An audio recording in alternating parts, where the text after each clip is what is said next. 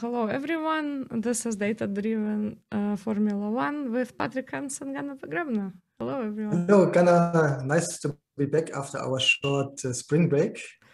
Yes, nice to be back. Uh, hi, Patrick. Uh, yeah, so and it's uh, uh, exciting season today because we have um, basically three drivers uh, that were racing quite close in this season, I think. So a lot of um, a lot of cool races to discuss, and uh, yeah.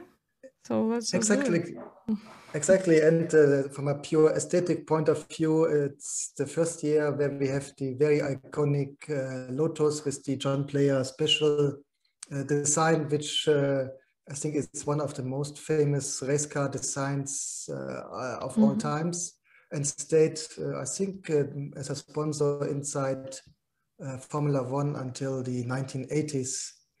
So, uh, but it's just from a pure aesthetic point uh, of view. So we have season 1972, and as always, we have a look first on the results. Mm-hmm. And uh, we see uh, one name quite often, more often than the other names, uh, and uh, quite young Emerson uh, Fittipaldi. Yes. That's right. Um, yeah, so so we have quite a few, as you can see, um, yes. Um, Jackie, uh, quite a few wins by Jackie Stewart. Uh, we have uh, Emerson Fittipaldi and um, well, uh, Denny Hulme and Jackie Jackie Ickx and exactly. Jean-Pierre Beltoise. Exactly. Yeah. And Jackie Ickx, we have where we would expect him on his favorite track, the Nürburgring. The Nürburgring, exactly. yeah, we have a special on uh, Jackie Ickx, uh, and so if you haven't seen it, please do have a look. Uh, there, we actually kind of talk about Nürburgring quite a lot as well, and uh, right. we talk a lot about Ferrari. Uh, but um, yeah, it, uh, it's um, it was obviously, you, as you can imagine, a good season for Lotus as well and Tyrrell. Mm-hmm.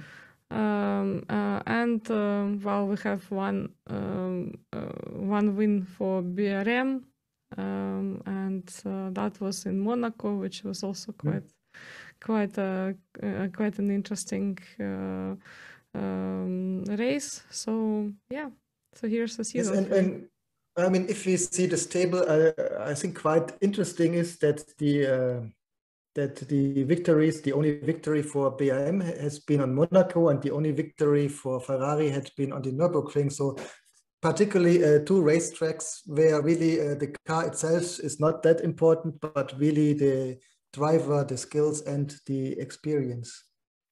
Yes, so two driver tracks practically.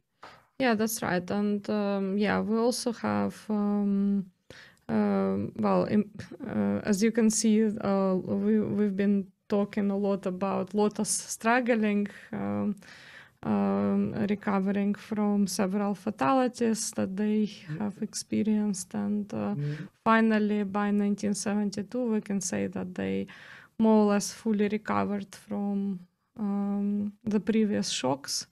And um, I think they mm, really concentrated on their chassis uh, that year. So, yeah. So essentially. Exactly. And Mm-hmm. And let's say for the spectator, it was uh, uh, a quite um, quite a change uh, now because it's a visible sign that Lotus have overcome their um, struggling, their problems. They had a complete uh, different uh, design, as mentioned, and really one which should become very famous in uh, Formula One. And we see it here in the background of on this slide. Right, right, and um, yeah, so like like Patrick said, that uh, yeah, we had now some safety features in the circuits, mm-hmm. and uh, mm-hmm. safety will become uh, a very important uh, theme for the for uh, the early 19, 1970s at least so kind of as a as a spoiler for 1973 we can also probably uh, tell you that in 1973 we will see the first ever safety car used uh, um, yeah, I I believe in Canadian Grand Prix. I might be wrong there, but I think I think that's uh, that's correct.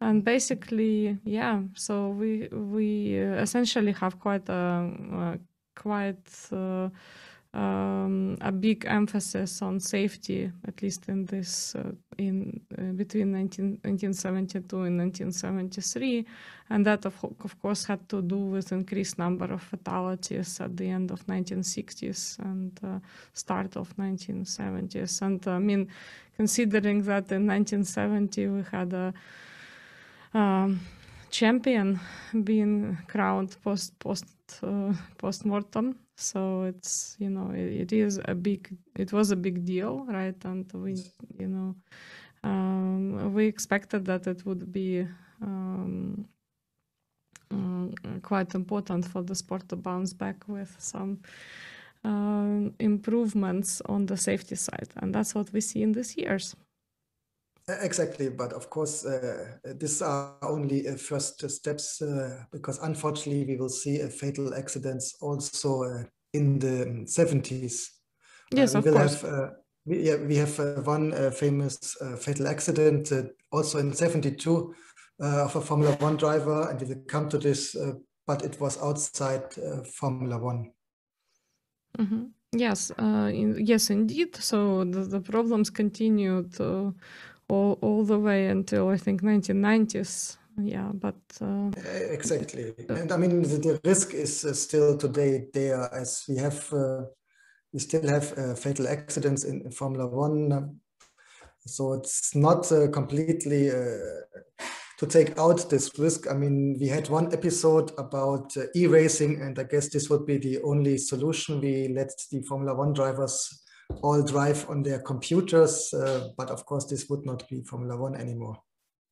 Yes, absolutely, absolutely, and um, yeah, um, it it. But um, I think it was uh, mm, very very good progress, right? In in terms yes. of uh, try, at least trying to make these um, uh, uh, uh, these tracks safer um, and um, yeah so let's let's just get to it i mean i'm also particularly excited about the season because i'm a big fan of emerson fittipaldi so, so, so, let's just uh, get uh, into the season i guess yeah uh, yeah. Okay, Emerson Fittipaldi, uh, Brazil's first uh, Formula One uh, champion, one of many.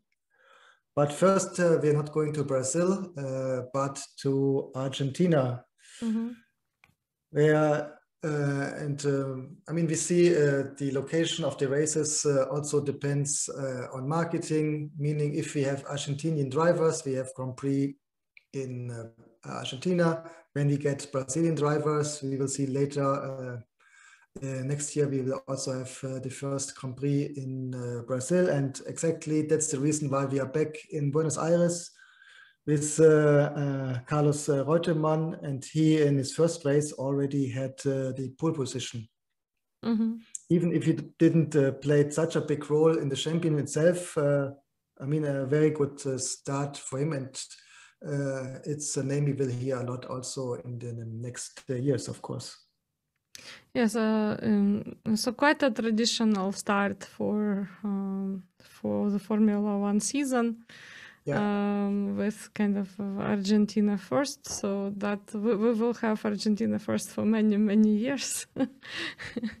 Unlike now yes. when we start in Bahrain, I think, yeah, so, uh, so Argentina was uh, quite a traditional way to start Formula One season. And um, yeah, it, uh, um, in a sense, uh, I think this um, well you can you can say that this season was essentially uh, this rivalry between Jackie Stewart and Emerson Fittipaldi, and uh, in this particular year, Fittipaldi was uh, stronger, but J- Jackie Stewart yeah. Uh, actually performed really really well and uh, won um, quite a few um, Mm, yeah, quite a few races. So definitely the first one and the last two.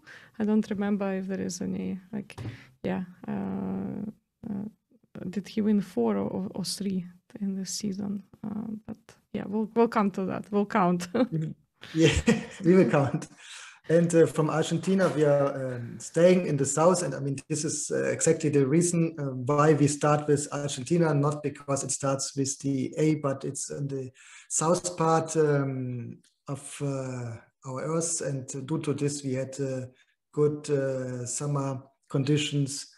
And while in Europe, you can still have snow depending where you are. I mean, if we're at the Nürburgring, we can even have snow in the middle of the summer, but uh, in general, the chances for good conditions are uh, quite good in the south, in Argentina, South Africa, and later uh, Brazil, if we are early or late uh, there. Yeah, yeah. I just looked it up and and um, uh, yeah. So Jackie Stewart won four uh, um, for, for Grand Prix, Grand Prix in 1972 season. So it was Argentina, France, uh, Canada, and US. Um, and uh, yeah, so definitely a very good start of the season for him. And uh, um, uh, also, I think quite a um, yeah, quite a good start for for Ferrari. here was Jackie Jackie Ickx in the third place. Yeah. So straight in the first uh, in in the first race. Yeah. So very good. Exactly, and uh, then uh, South Africa, uh, we have the only uh, victory for McLaren Ford uh, of that season, who mm-hmm. interrupted a little bit Jackie the fight between Jackie Stewart and Emerson Fittipaldi. So he first, then Emerson Fittipaldi, and then uh, US American Peter Revson. Yeah, so I think um, we kind of a little bit forgot about McLaren. Um, so after Bruce McLaren's death, um, yeah. but uh, it's important to say that uh, you know uh, it was I think um, to to me, uh, of course, this is rather a speculative statement and personal opinion, mm-hmm. but uh, um, I, I, to, to me, I think that the fact that they uh, kept uh, Denny Hulme uh, in the team was extremely important um, mm-hmm. for yes. McLaren and helped them to hold uh, the team together because you know he you know it kind of like he he he was this um, uh, uh, the figure that uh, essentially um, pushed pushed the performance forward um, for the team and um, also you know as a former champion he had kind of enough weight to to pull it off. Um, and we actually as you can see we, we, we saw some wins from him uh, in um, seasons uh, in in uh, in 1970s. So so that was quite important for McLaren team, and that probably allowed it to continue. And we still have McLaren team, which is that's right. And, which uh, we can't say about many teams that participated in 1970s. Yeah. Uh, right, and uh, I think this is similar uh, to the um, role which uh, Graham Hill had uh, at Lotus, that he, as the experienced driver, somehow kept um, the team together. As we uh, discussed, unfortunately, 60s, 70s, we still had it on quite regular base that we had fatal accidents. So these experienced drivers, as Graham Hill and Denny Hulme, they had unfortunately they experienced uh, before that they lost uh, uh, people which had been more or less near to them. So, so especially important um, that we have such an experienced drivers who really could uh, keep the team together. Right. So, um, so now we kind of go into um, the uh, quote unquote reign of Lotus for the season. So yeah. in Spain, um, uh, where we had well um, Emerson Fittipaldi's first win of the season, and also uh, he raced uh, with with his br- brother in the same race. Yeah. Emerson and Wilson Fittipaldi. But yeah, generally, well, I'm also looking forward to when we do a special on Emerson Fittipaldi. It's a very remarkable driver and exactly. also influenced a lot of, uh, well, inspired a lot of uh, interest in young drivers and the sport. Um, yeah so yes and he really stayed active very long i don't know if until his 50s but I remembered uh, that I still saw him driving IndyCar uh, in quite uh, high age, at least for a race driver. Yeah, yeah, he was. Um, he had a very, very long career, and then also a long career. Uh, uh, uh, not only well in Formula One, but as a figure in sport, and yes. Um, I think if, if you try to find, for example, photos of Emerson Fittipaldi, you mostly find quite late photos of him and a lot of them. Right. Uh, so he was quite a quite an influential influential figure uh, um, uh, as an ambassador of sport and uh, commentator, and did a lot of things to encourage uh, young younger people to pick up. Um, uh, you know the, the, racing skills let's just say so yeah we will definitely talk about him and uh, yeah yeah so but yeah, and i mean and luckily we still have uh, fittipaldis uh, up to today uh, in formula one as uh, if i'm uh, correct now 2021 we have one fittipaldi being the um, replacement or reserve driver for the haas team yeah I if i'm so. correct yeah, I will I will double check now, but yeah, it's uh, I think it's correct. Anyway, so uh, you can look forward our special uh, edition about Emerson Fittipaldi. Yeah, definitely. Well, I'm looking forward to it. For, for, for, for. I hope uh, somebody more than just you. Yeah, so yeah, Pietro Fittipaldi, da Cruz. So he is uh, a grandson of Emerson Fittipaldi, and uh, yes, and I think also his brother is his brother uh, Enzo. Yeah, yeah, I remember they both uh, um, uh, participated um, this year for Haas in the uh, E Formula One series, mm-hmm. which there had been a couple of races before the season started. Yeah, so well, we'll see. We'll see what happens. Yeah, exactly. so he he uh, became uh, Pietro Fittipaldi became the test driver for um, Haas in 2018, and um, mm-hmm. he raced as a replacement in 2020 for the first time. Yeah. yeah. So, yeah, brilliant. Okay, but let's go back in time uh, to 1972 again, and now we are in uh, Monte Carlo.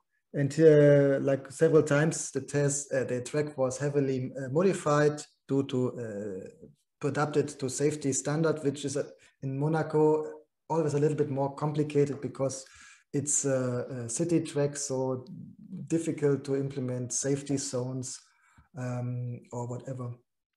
Yeah, and actually we included the uh, the Argentinian track and the Monaco track here yeah. just to show yeah. you how um, how compl- complicated these tracks really are. They're quite complicated, a lot of turns.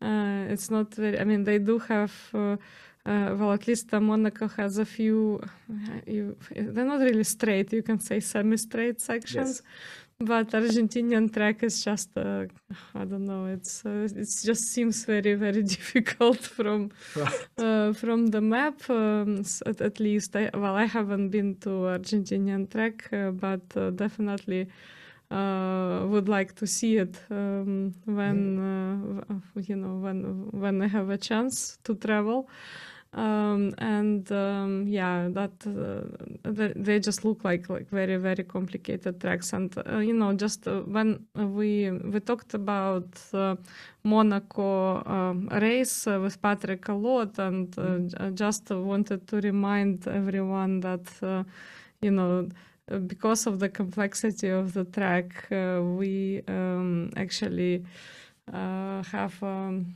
yeah, uh, it, uh, because of the complexity of the track at Monaco, it is uh, quite a big event when someone wins it. So we normally actually count the champions at Monaco. Uh, not only because it's uh, it's uh, a, cute and iconic place, but because the racetrack yes. is really not easy. yeah. Exactly, and I mean, uh, most of us we never had been uh, to the Monaco race, but let's say I've been. even if you, yeah, that's why I said most of us.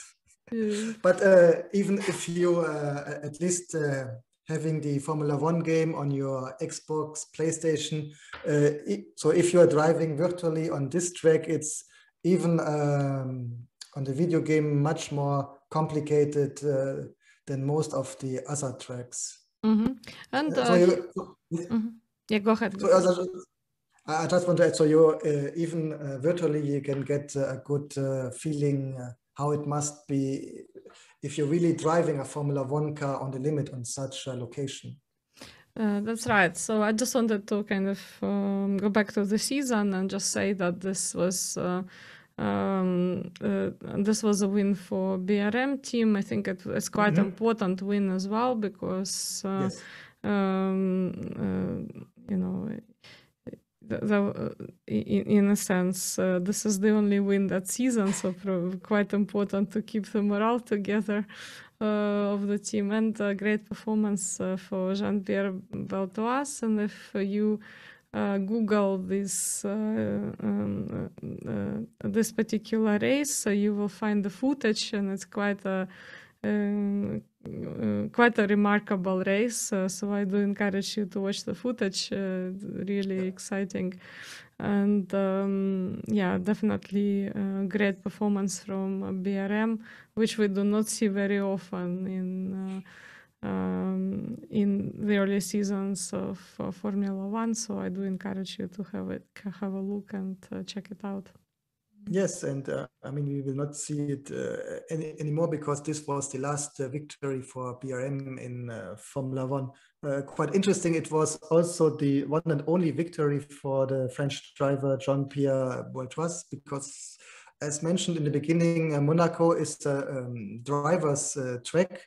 So you would assume that we have here the better drivers winning, and for some reason Beltoise never could show his talent uh, later on uh, on any other racetrack. Maybe also because uh, he didn't have the opportunity to sit in the right car at the same time.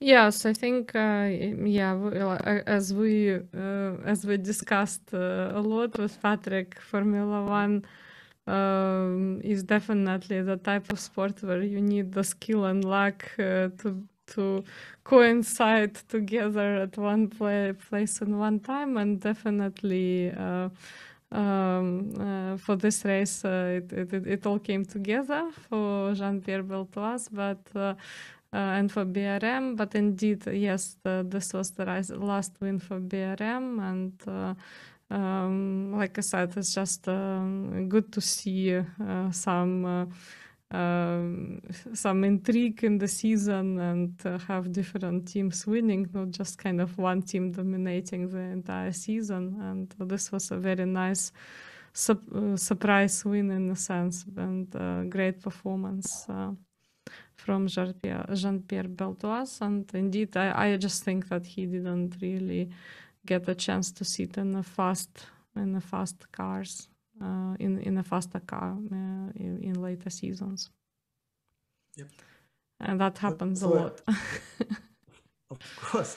Uh, also, uh, interesting is that we only had uh, two cars in the in the same lap, uh, which have been Jean-Pierre Beltoise, Jackie Ickx, and also already the third Emerson Fittipaldi had been lapped, so he was one lap behind Yes, indeed, indeed. And like I said, uh, it's a remarkable race. Uh, so please do yeah. watch the footage if you get a chance to to, uh, to, to have a little bit of time uh, to watch it. Uh, Belgium. So that's yeah. another another driver's track. Um, very often it rains uh, in Belgium. I think Am I right that in this season they had to, uh, they couldn't race in Spa? Uh, I think that, that's correct. Had... We are in Nivelles, Baulers. Yeah, and so that was quite a controversial kind of discussion at the beginning of, um, of the season before the race. Uh, Um, and I believe uh, they couldn't race there because of safety. So, like uh, Patrick yeah, said, there were quite new rules implemented yes. in terms of safety tracks. So uh, the traditional Spa race wasn't there. Um, and yeah, like I said, it's um, you know Belgium is really, despite uh, you know.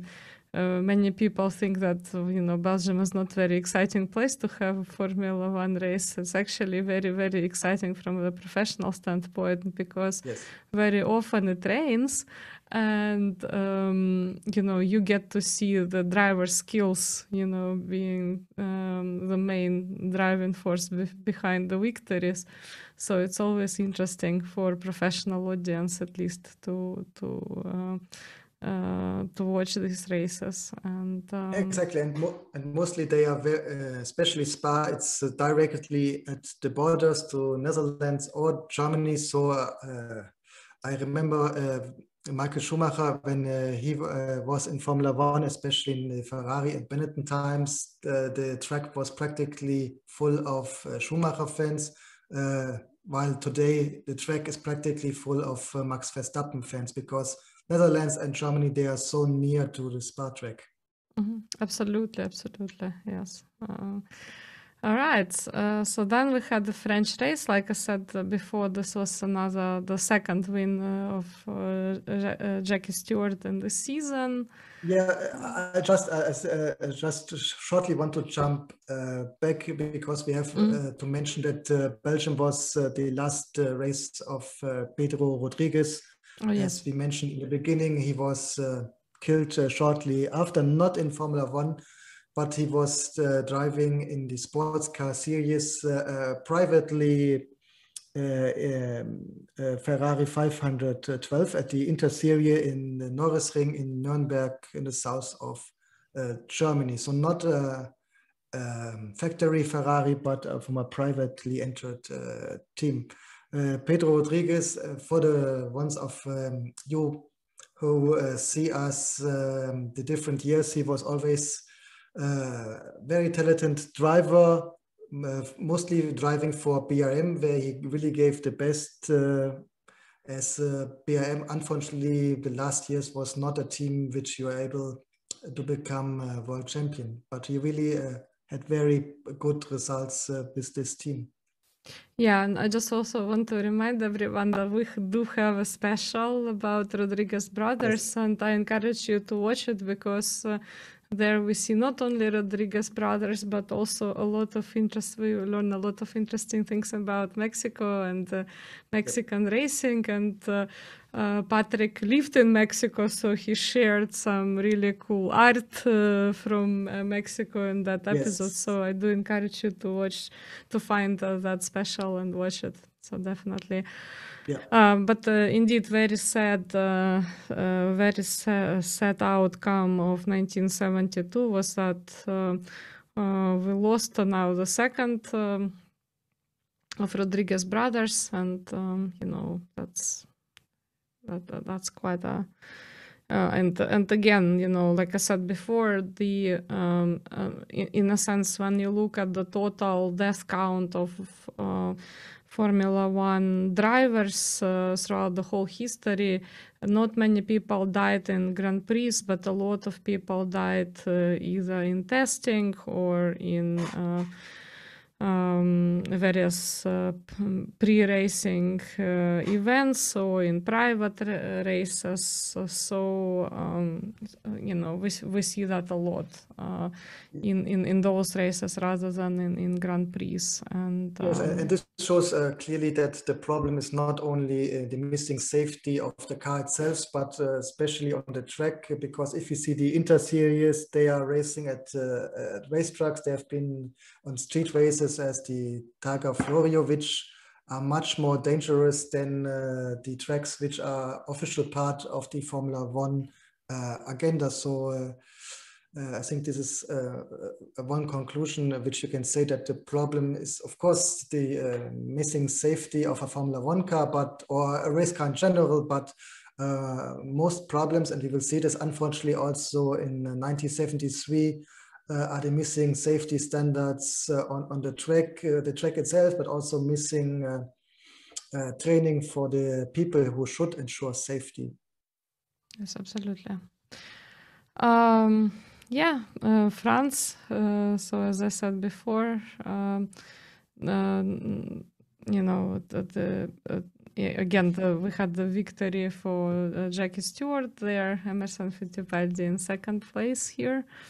Um, and um, again, well, we had uh, some. Um, well, we had an injury uh, with Helmut Marko, so th- that again highlights to us how difficult it is to really make uh, to really ensure safety uh, during mm-hmm. Formula One races, and especially in the earlier years where you know the, the kind of safety regulations were quite light.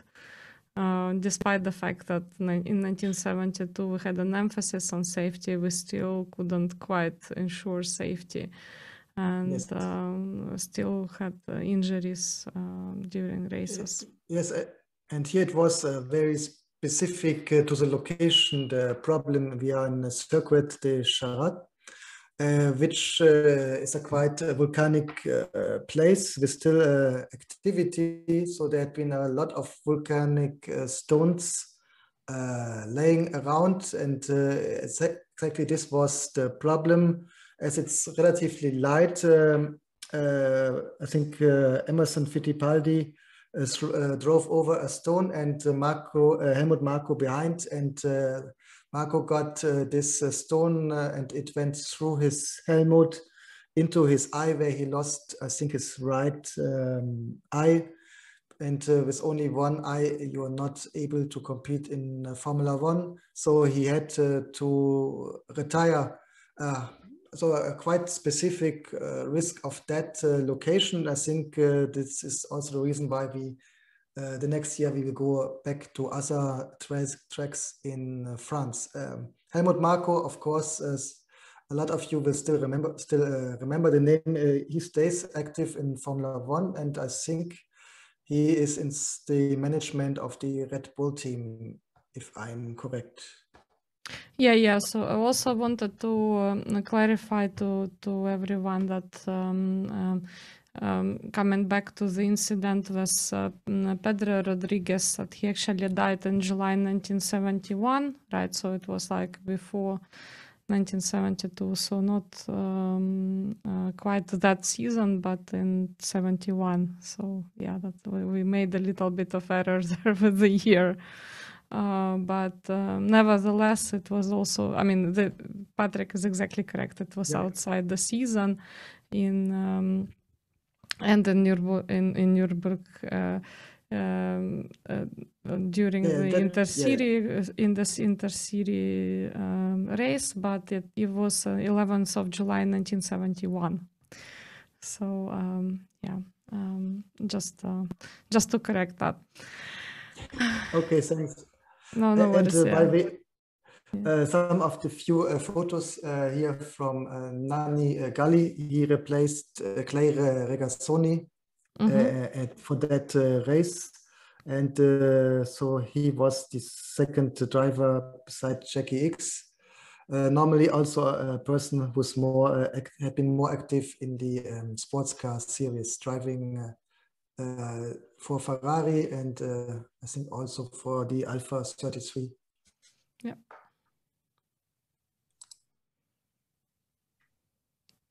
UK um, again, no no surprises there. With Lotus team being quite um, successful in um, um in in UK in general. Uh, you know that that track is uh, both tracks. I have to say um, Silverstone and Brands Hatch were familiar to the team, and uh, no surprises there that Emerson Fittipaldi was in the first place. So with uh, uh, Jackie Stewart in second place and Peter Revson in the third. Yeah. Correct. No surprises in the UK. Okay. Mm-hmm. And with this, we are traveling again to uh, European mainland, uh, to the Nürburgring, Uh, as we discussed in the special episode about uh, Jackie Ickx, uh, the Nürburgring was really his uh, favorite uh, track. The Nürburgring also very near to the Belgium um, border. Interesting, uh, um, Jackie Ickx was the first and the last driver who could achieve the Grand Chelem. Mm -hmm. What includes taking pole position, leading every lap of the race including having the fastest um, lap. Uh, so it and also this was his eighth and final uh, victory in a, in um, Formula One race. As we uh, discussed, uh, Ferrari was uh, already in 72 struggling, even more in 73. And after this, uh, Jackie Ickx changed uh, the team, but let's say he never got his mojo back, at least in Formula One, as he became very successful in endurance racing, of course. Yes, uh, so we have um, uh, again. Just want to remind everyone that we have a special on uh, on Jackie Ickx, and if you want to know more about this remarkable driver, certainly watch that ep that episode where we discussed a lot, not only his uh, driving career but also his uh, uh, career outside outside driving, and uh, there are a lot of parallels with, um, you know, we, we basically. Uh, we, we believe anyway that he is one of the Formula One royalty. figures and uh, you know certainly he's a social figure and an ambassador for the, for the sport and uh, uh, you know he, for the driver who near uh, well had several near misses uh, uh, in Formula One so he essentially never won a, a title he was um, really really successful in endurance races and indeed there he achieved probably yeah, he he he achieved really uh, uh, um, brilliant, absolutely brilliant results. So very very remarkable driver, and like I said, check out our um, special about him.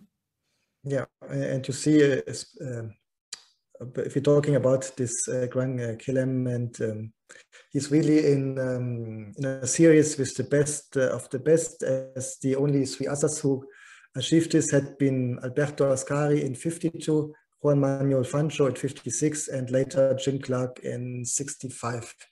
And I assume, I don't see that any driver in the next time will achieve it, and not only because of the missing skill of today's, no, sorry, not because of the missing skills of today's drivers, but I think leading really uh, every lap um, of a race today is not uh, possible as the cars are much closer together. So it's quite normal that in your pit stop, you lose uh, the position. Yeah, well, and uh, like we mentioned uh, before, he was really, uh, you can say, the king of Le Mans. Uh, yes. yeah, very remarkable achievements there. So please do definitely check out our special about him. About him. Yeah, Austria and Italy next uh, on the list. Uh, again, no surprises there with Emerson Fittipaldi being uh, first in both of these races. And um, also, we can say that was it was um, very like you, by by this uh, mm, uh, but this stage in the season, you can you probably also noticed how uh, stable was the performance of McLaren and Denny Hulme in particular because he's all well not always but very often in either second or third place. Uh, so and uh, overall uh, he he was in the third position that season for that reason. So so definitely that showed that McLaren team kind of bounced back and was back in the competition and was competitive uh, in uh, mm, um, in the championship, which is great to see because, as we saw with many other teams, once you lose uh, the team principal, you, you know, the, who is the inspiration, you normally lose the team. It just falls apart. Yeah.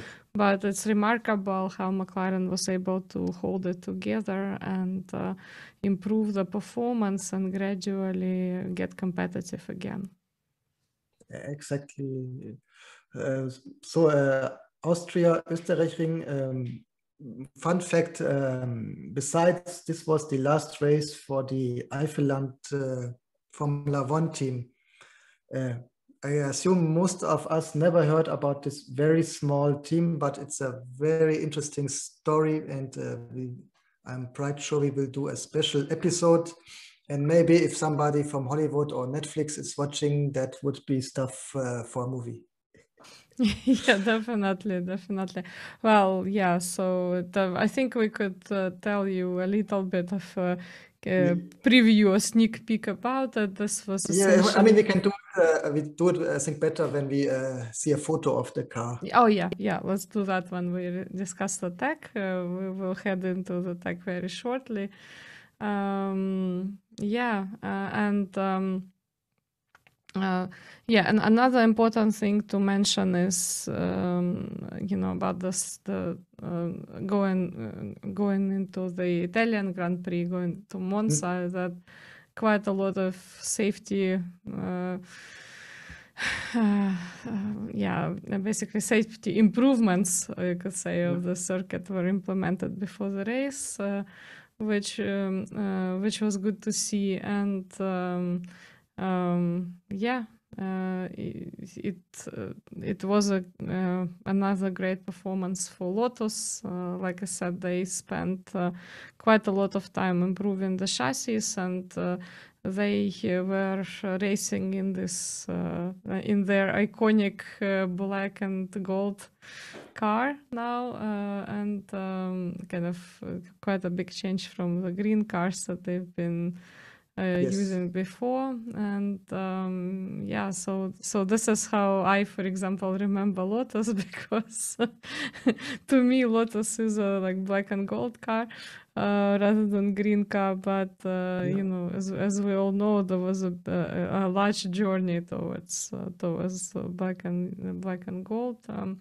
and uh, like I said, the chassis were quite uh, remarkably improved. Um, uh, even though again this was not the safest car at least in my opinion but um, you know i think emerson fittipaldi was able to um, handle the risk and uh, kind of ne- negotiate this risk quite successfully within um, um, various Grand Prix uh, in early 1970s. Yeah, and uh, important uh, to say uh, that he managed uh, this this risk uh, on a very young age. he was only 25 when he became the champion in Monza, which have been the youngest driver so far.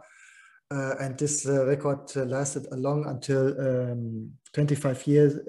25 years later, Fernando Alonso uh, got this title of the youngest Formula One uh, champion uh, ever.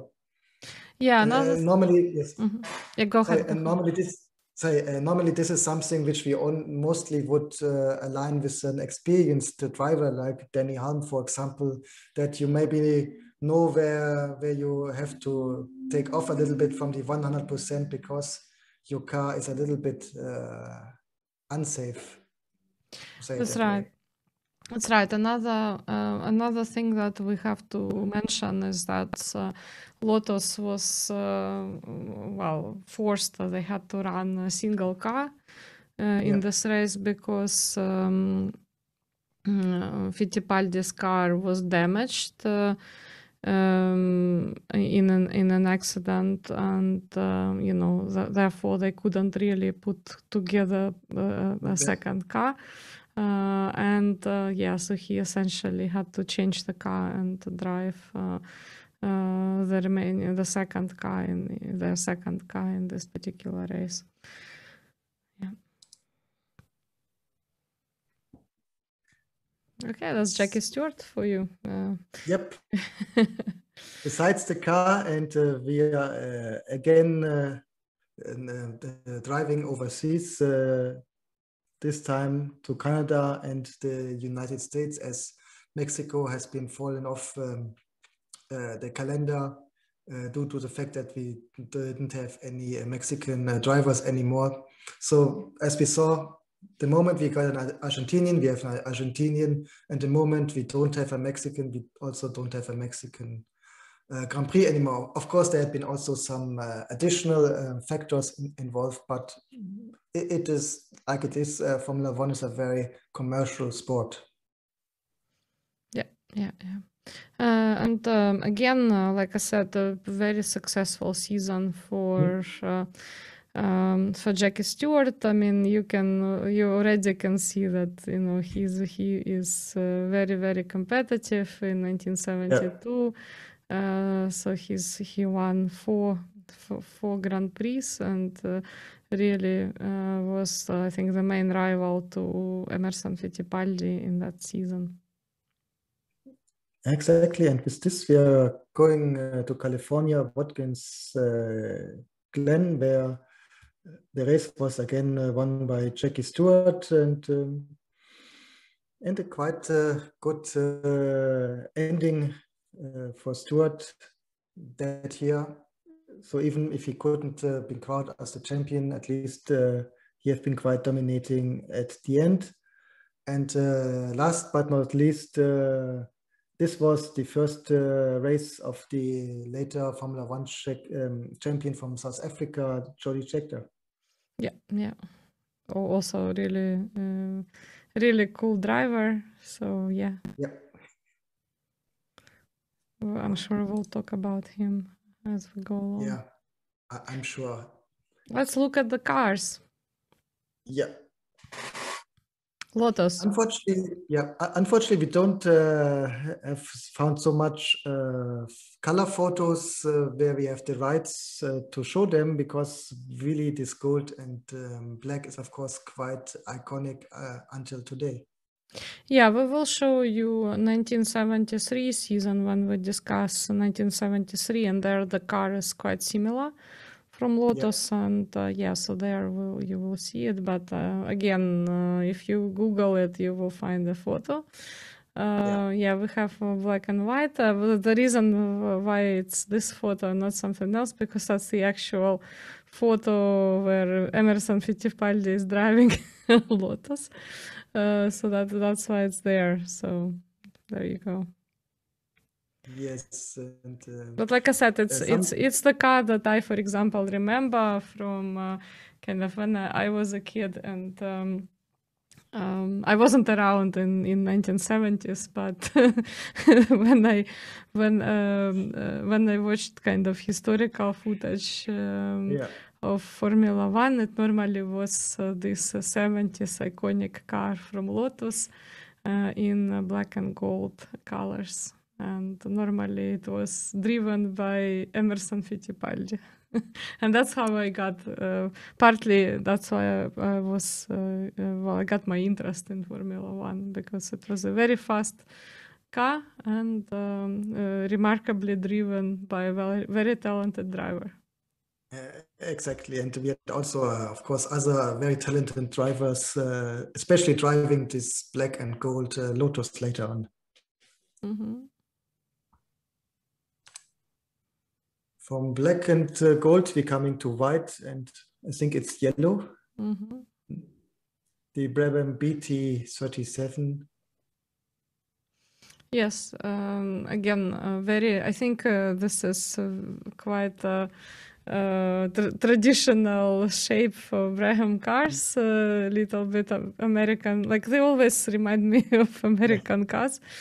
Uh, so a little bit more suited for straight lines, but uh, nevertheless, um, I think in terms of uh, safety and uh, reliability, really great engineering uh, for well for obvious yes. reasons. We've uh, we've discussed Brabham a lot, and we have um, um, a special on Brabham and uh, you know, you would know that uh, Brabham himself was a mechanic for many years, and uh, you, you, know, I just uh, like any Brabham car, if you see it in a museum, have a good look, just stop and have a good look at it because it's uh, usually a really remarkable piece of engineering. It's absolutely brilliant engineering.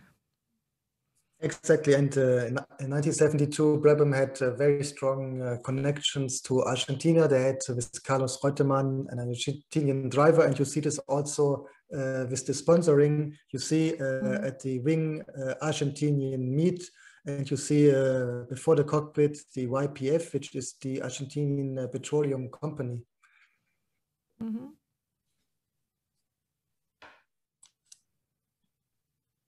And BRM uh, also here, very iconic uh, painting and sponsoring Marlboro, BRM. Later mm-hmm. we would see this uh, on, on, the Alfa Romeo and of course most famous on the McLaren. Yeah, Patrick and I uh, promised you that we will do the big tobacco uh, episode um, yep. because uh, big tobacco despite you know being obviously da- damaging for many people's yep. health um, uh, played an important role in the development of formula 1 was mm-hmm. sponsoring mm-hmm. many many teams uh, including ferrari team so um, but this this was definitely one of the more unusual looks for BRM, which was normally green and uh, mm, you know with uh, spon- tobacco sponsorships they became red and white. And this was yep. again uh, the car that won um, won GP uh, in in 1972, and uh, I just really admire the aerodynamics of it. And yeah, you're right. they tried really experimental stuff there in terms of the front of the car. So um, and it it seemed it seemed to have paid off uh, at least uh, in in one Grand Prix that season, and not just any not just any Grand Prix, but Monaco. So um, so it definitely worked for them. Uh, a car which we not uh, spoke uh, about uh, that much uh, this year is the Ferrari 312 mm-hmm. in the B2 version. as it, we, to be honest, Ferrari was unfortunately declining. we see this more extreme in the 1973 season, but of course, as many of you remember from from uh, also from uh, movies. After this it should be quite good in the second in the middle and the second half of the 1970s of course. So the 312 i think it's a quite uh, conventional uh, car as i can also show you in this little box. Mm -hmm. there we see. Jackie Ickx uh, at his victory at the nürburgring. So quite conventional car still looks very similar then at the beginning of 70s or end of 1960s, um, which may explain why they lost a little bit um, the connection to the fastest car, especially Lotus mm -hmm. uh, or Tyrrell. Yes, well, um, of, of course, we have to uh, make a footnote here, like like Patrick said, that uh, despite uh, that we see ups, ups and downs uh, for Ferrari uh, over the course of the history of Formula One, this is the most successful team. Uh, yeah, and, and, they found ways uh, to kind of invigorate themselves and innovate, and this kind of what always kept uh, this team together and still keeps it together to date. Yeah, and uh, well, it's that, that, it was yeah, it was not the best season for Ferrari, but we do have Ferrari in competition, and uh, they won one Grand Prix.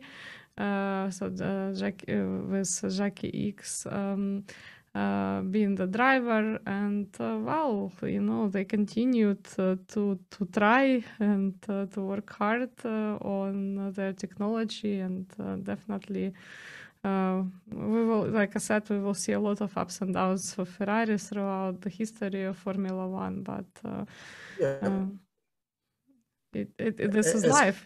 you can't be exactly. I mean, as we, we see also with the other teams, as the mentioned uh, McLaren.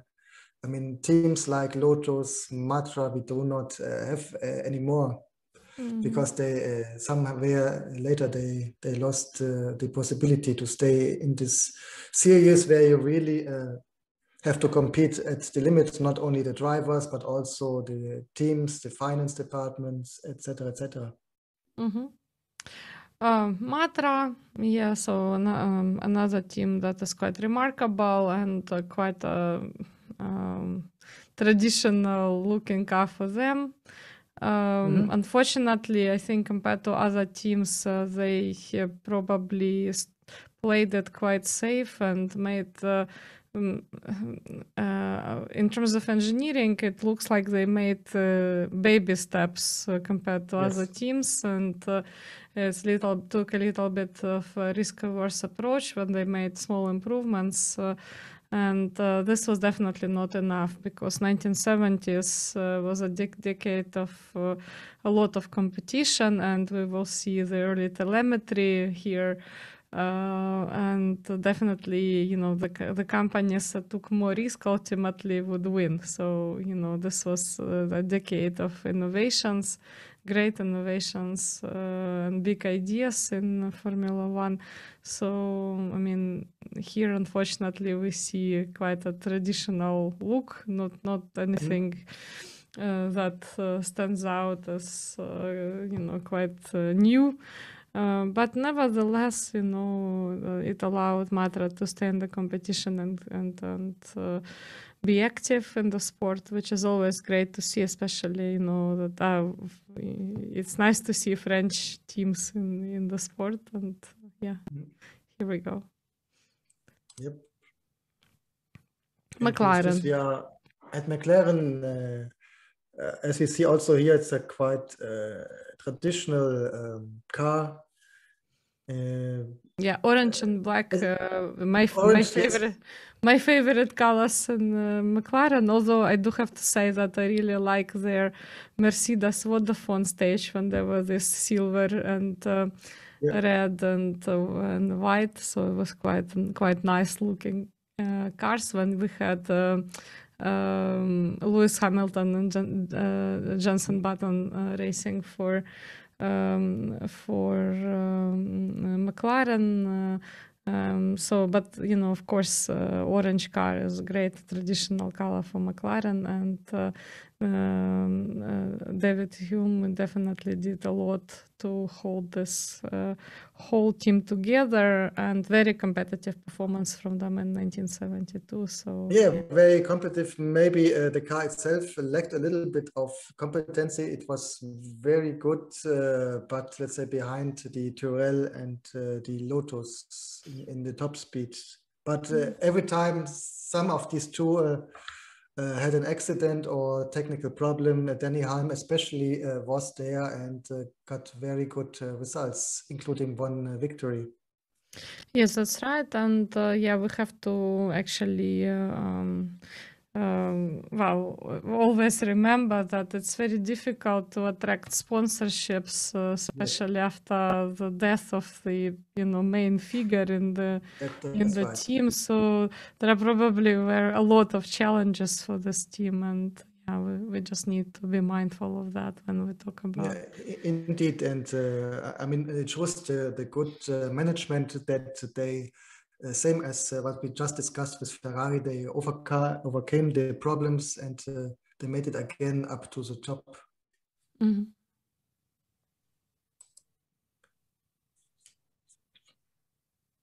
And uh, and this is a little bit in opposite uh, to the uh, Surtees team who had been, and we discussed it uh, especially uh, in the episode about John Surtees, uh, uh, who had been uh, in some years quite okay in midfield, sometimes more behind, but they never made it quite to the top in opposite uh, um, to McLaren, for example.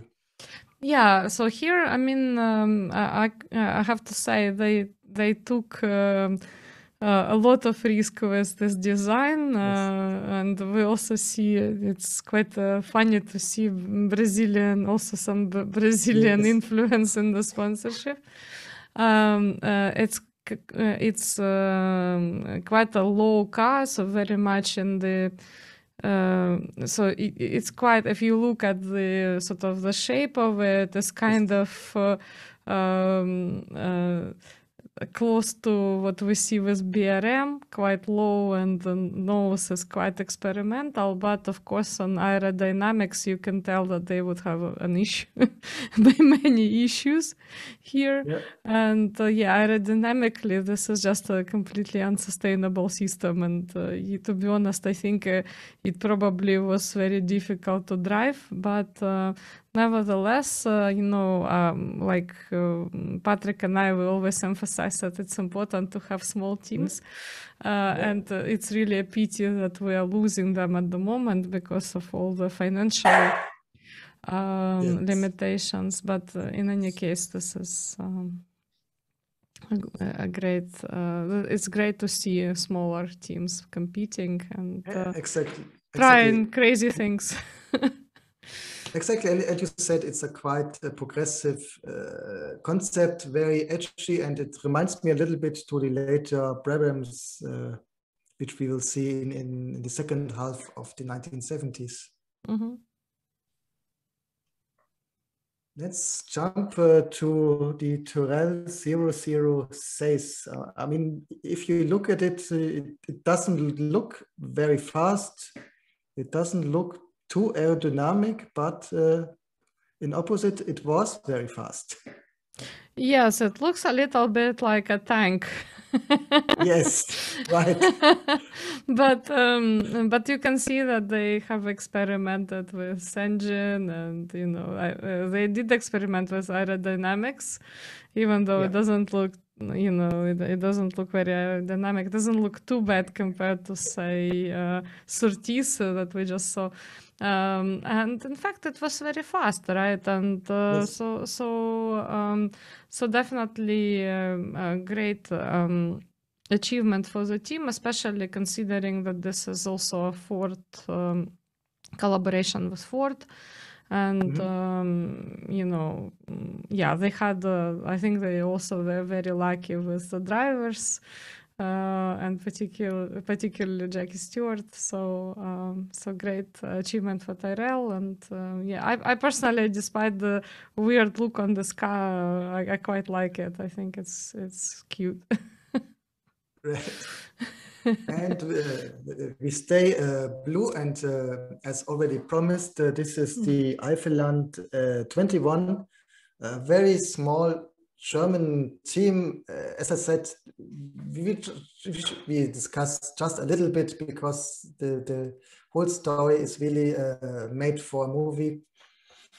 Uh, so we had uh, the owner of, uh, of a company uh, who's producing um, caravans, so something completely far off motorsports, had the idea uh, to start um, a racing team. First uh, Formula um, 2 and then uh, Formula 1 and to do this he teamed up with a very famous German um, designer Luigi Colani. I think one of his parents came from Italy. So originally name was Lutz Colani but to make it sound more Italian he changed from Lutz to Luigi, really very famous designer, uh, but uh, his specialty was around designs which are very human, which are big advantage for e equipment uh, um, which are used uh, to work together uh, with the human, of course, uh, but he was not a big fan of wind tunnels, aerodynamics, and so unfortunately, I didn't found a photo of the original uh, car as it was presented at the end of the year because this one is already a changed uh, version, much more conventional than the original vision uh, from Colani uh, was. And they had to change uh, from this Colani design to the original March design because the car was practically undrivable, uh, overheating even in cold conditions. So only what is left is uh, this interesting uh, concept for the cockpit, where uh, it also gets its air and of course the not having two um, rear mirrors, but one big uh, in, in the middle, a little bit similar to today's Formula One cars, which the uh, Halo, where you also have this uh, metal right before you as a driver. Mm-hmm.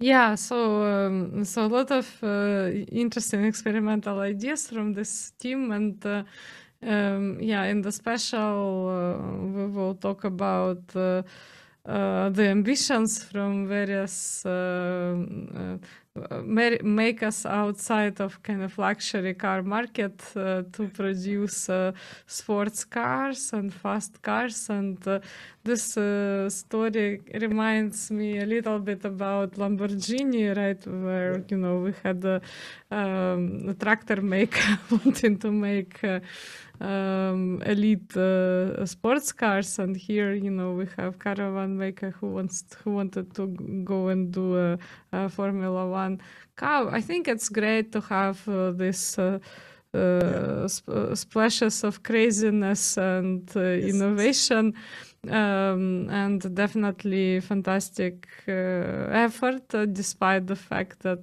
yeah you could you, i mean just by the shape of the car you could tell how you know difficult it must have been. Um, uh, personally i wouldn't want to be inside it but uh, but uh, i mean they tried you know and you have to give it to them they tried it's not easy um, and um, certainly, like Patrick said, fantastic story and uh, definitely something to look forward to when we do the special. Uh, please uh, do check it out. Uh, and again, we applaud uh, all the small teams yes. in Formula One because it's a very brave thing to do. Even for 1970s, it was quite a brave thing to do because it was no longer the 50s when you could just buy a yeah. car and race. so here, right. here you needed sponsorships, you needed uh, a lot of organizational skills to pull it off, and uh, yeah. So um, we'll do a special on this. Exactly. I mean, in general, we see a lot of, uh, not a lot, but we see a, a couple of crazy uh, car designs in the 1970s. Uh, of course, later with the famous six wheeler. Uh, so there had been some crazy ideas, luckily, from time to time. Yes, uh, and in the 90s, uh, where we would have more kind of square shaped and less aerodynamic things uh, with some flaps and wings and all sorts. Yeah. So there will be some really funny things. Um, perhaps also we could think of uh, maybe um, maybe of a special where we will find this uh, weird and wonderful engineering. But perhaps mm-hmm. maybe we will invite someone uh, who an engineer an engineer who could support that episode and discuss with us the different uh, different designs. Um, um, but definitely, I mean, uh, there were a lot of uh, crazy, crazy things that uh, various people tried in in in uh, competitions because you know, like when once you have an idea of how to make the car faster, I mean, who can stop you to, to put something on, and it may or may not work, uh, you know, when you try it. So Exactly, and, and sometimes uh, I mean it worked at least uh, temporary when we uh, we had the fan car with the Brabham. I mean the six wheeler also was quite good uh, at least for a limited uh, time. So sometimes these crazy ideas uh, work, and sometimes, as in this case, unfortunately, they didn't. So for this also, uh, Eifelland they're not um, they're not even competed the whole season, but they started later and dropped out earlier. Mm-hmm. And with this, we're coming to uh, one of the numerous uh, small Italian teams which we had uh, up to, uh, I think, the uh, the 2000s, 2010, with, with, of course, the most famous one, uh, Minardi, but also one of these small teams had been Tecno and the PA 123 even if not the fastest, at least uh, it has this also this very uh, iconic uh, sponsor, uh, Martini Racing, uh, which we saw not only in Formula One but also a lot of others uh, race seasons. Yeah, so the yeah, so this car definitely reminds uh, reminds us of karting. Uh, yes. Um, uh, quite a, kind of quite a low uh, to the ground, uh, probably a lot lower than than, than we want. Uh, but yeah. nevertheless, again, I just want to say that great to see small teams and the things that they try, and you know um, you could again you could tell already by the look of the car that it cannot be too competitive but at the same time it's great to see the you know uh, that they try. Uh, so because it's uh, i mean these types of cars probably had a chance uh, during kind of Cooper times, right, when we had more karting-like uh, engineering in Formula One in 1960s. But uh, obviously, for 1972, this is already too outdated, I would say, this design. Mm. But nevertheless, they yes. tried they tried some new things, and uh, that's that's great. So, uh, but nevertheless, may uh, uh, maybe good marketing, even if they not have been able to compete uh, at the top. They really participated for various years and uh, that the car looks like a kart is no coincidence because uh, Tecno uh, is or, or, maybe still uh, was or maybe still is a manufacturer of karting 1st mm-hmm. of all. Yes, absolutely, absolutely. So the, there is a the, it's it's for a good reason that it looks like yeah. karting, but um, you know again, uh, so great effort from small teams in in the 1970s. We will see quite a few of them. Yep it's just becoming to the drivers.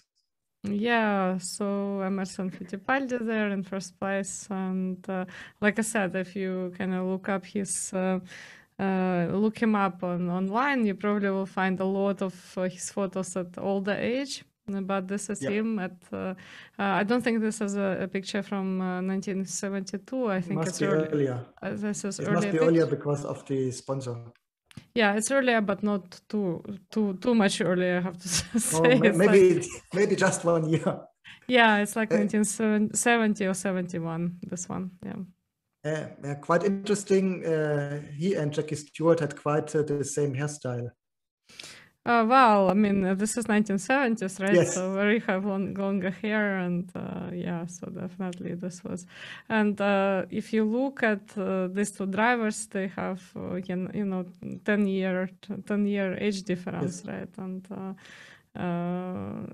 Emerson Fittipaldi was yeah very talented yeah. young driver at the time, and already um, um, a champion at a very young age. Mm-hmm. Exactly, and uh, interesting is that uh, Jackie Stewart and Denny Hulme they are uh, the same age. Even if I think Denny Hulme always looked a little bit uh, older, because this photo should be from '73 and showing him uh, with uh, 37 years. Yeah, yeah, yeah, that's right. Um, but uh, besides this, of course, very fast uh, driver, and uh, there and uh, there must be a reason why he been successful in Formula One for many uh, many years. Yes, I mean, uh, we of course always emphasize that in Formula One we have the best drivers Exactly. Uh, and of course, uh, they are in a very risky occupation even now, but back in yes. the day, even more so because it wasn't really. Uh, yeah, it wasn't really the best uh, for safety. And when we talk about Jackie Stewart, we will talk about his uh, horrific accident in 1966, right? When he was practically had to wait a long time before he got any medical assistance after an accident.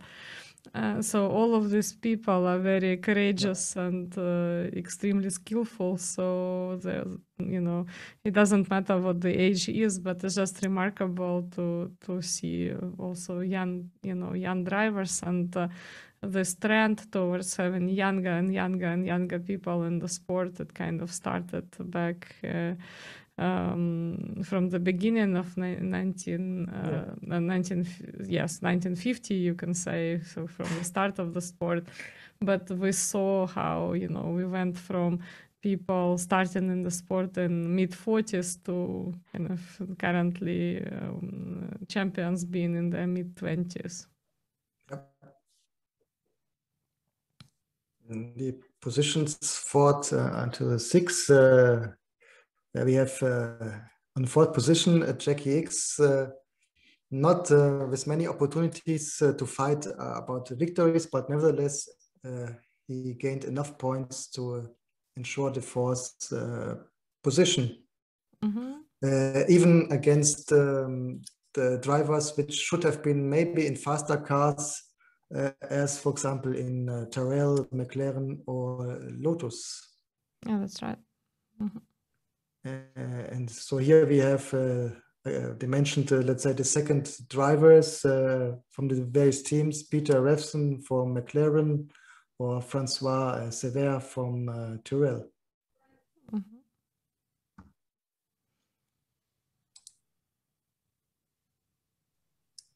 And mm. Clay Regazzoni. Yeah, yep. Clay Regazzoni, Mario Andretti, and uh, Peter Gethin, we've mentioned them before. So yeah, um, yeah uh, again. Yes, I think the last uh, two which we see here, uh, Peter Gethin and Mario Andretti, they not uh, participated the complete season, but in some uh, of the races only. Yeah, that's right. We already, yes, constructors. We already discussed uh, Lotus victory for Tyrrell with 10 points uh, difference, then McLaren, uh, and then uh, Ferrari on the fourth uh, position, and uh, the first of the teams without a Ford uh, engine, which hadn't been that many, only um, BRM Matra, and I think also Tecno had an own engine. The rest had been using this Cosworth engine who was dominating all the years. Absolutely. I just wanted to say that uh, you could you could see uh, again a large uh, gap between Lotus and Tyrrell, mm. ten points, uh, quite quite a big difference, and not so much difference between Tyrrell and McLaren, yeah. with only four points difference there, and um, yeah, so that that again uh, tells you how kind of dominating Lotus was really yes. um, compared to other teams, and uh, you know that allowed them to secure more wins in that particular season. Although I have to say this was uh, also a great effort for Jackie Stewart, who I think fought until the very last race to, yep. To to to to win this competition. So yeah, uh, definitely um, he deserves uh, recognition for that. And you know we will see that in later seasons that would pay off because. Uh, um, you know, in 1973 he would become a champion, and uh, yeah, so he definitely uh, uh, you know uh, started his sort of started to climb to his championship in 1973 in 1972 you could say. Yeah, yeah. agreed behavior. Yeah, so to me, again, uh, this is uh, definitely Emerson Fittipaldi's season, uh, despite uh, the fact that, you know, there was a, a, big rivalry between Emerson Fittipaldi and Jackie Stewart in this season. I think uh, um, it's quite remarkable that a younger driver prevailed. Um, we also will see by 1973 uh, so another person that i want to mention here is perhaps uh, graham hill because we will see hill enterprise in 1973 so he already kind of had like made the decision to to have his own team in 1972 so that's we didn't talk too much about him but to me again this is quite important.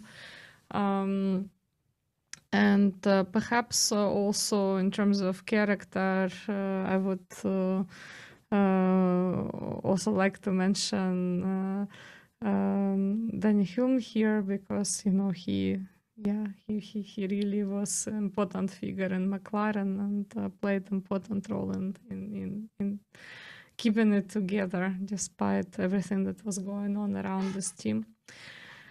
Um, notable wins. Um, um, uh, again, as much as I love uh, Emerson Fittipaldi, I would like to mention BRM here because it just was like really remarkable. Uh, remarkable race for them um, uh, in 1972. So to me, well, obviously, you know, uh, given the credit to uh, Emerson Fittipaldi and Jackie Stewart's wins uh, in 1972, yeah, uh, to me, BRM had a very, you know, cool race and surprise win in 1972. Um, yeah, we mentioned uh, that you know safety wasn't uh, well, it was improved, but wasn't the best, right? In, in 1972, so uh, several injuries and um, it it didn't become uh, a, a, lot safer, we could say. But uh, to me, it's not so much about accidents this season, but uh, mm, about okay. various controversies right around circuits. Like we mentioned that the spa, I think it's kind of more important to say that the, the spa, for example, wasn't present in the season um, for security reasons. And uh, it's good to generally mention that security finally became uh, an, an issue at the top of the agenda for Formula One.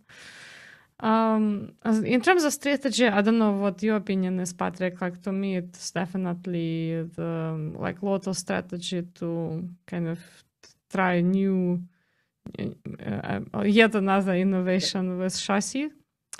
Uh, so that was a really, really interesting step, um, and uh, perhaps also again to highlight uh, on the strategy side, uh, we can highlight McLaren and um, yeah, later we will see that with the development of telemetry, McLaren would be one of the driving forces behind innovations in telemetry. So it's important that we were able to keep uh, this team in the sport. Uh, um, so it was important. And um, yeah, so to me, these are the main highlights, I guess uh, in general, I agree. Uh, maybe then you also could mention for a notable win the 1-2 victory from Ferrari in at Nürburgring with Jackie Ickx and uh, Clay Regazzoni. Uh, besides this, uh, uh, not a particular win, but of course having a young driver winning like Emerson Fittipaldi, quite new to the series. I mean, it's quite notable, of course. Yes. Mm -hmm. Yeah, legacy. Yes, again, uh, again, like I said, to me, it's a Fittipaldi season. That's what I would say. But I don't know whether you would agree with this, Patrick. Perhaps. Uh... I, I, agree, and I mean, um, as uh, it was it would be legacy uh, Fittipaldi being uh, the first of a series of very successful Brazilian driver of course, uh, uh, legacy is also uh, the, the Lotus with the iconic uh, design, which we which we see for many years on the Lotus, which even had been last year in 2020 uh, been somehow copied by the Haas uh, team with black and gold. So it's something that really became part of Formula One aesthetic in general. So I think this would be uh, the, the legacy why 72 is still important uh, for us today. Great. On on that happy note, uh, we came to the end of this episode. Again, we're on all possible media. Please do check uh, check out uh, the series in general. We started from 1950 and uh, we we are gradually progressing. I have to say, with all the specials, yeah. we probably are not progressing as fast as we would like to do it. But uh, yeah, nevertheless, it's nice to stay in the seventies. Yeah, but nevertheless, uh, I think we're getting to quite exciting parts where we would. Yeah. Uh, actually, look into uh, some of the um, early te- telemetry devices and sensors uh, soon, and we will talk more about data and analytics at that point in time. Meanwhile, yeah, check us out not only on, uh, on YouTube but also on uh, many other platforms. Again, thanks to Patrick for uh, for making this happen, and uh, I hope to see you next time. Yep. See you next time. Bye-bye. Bye.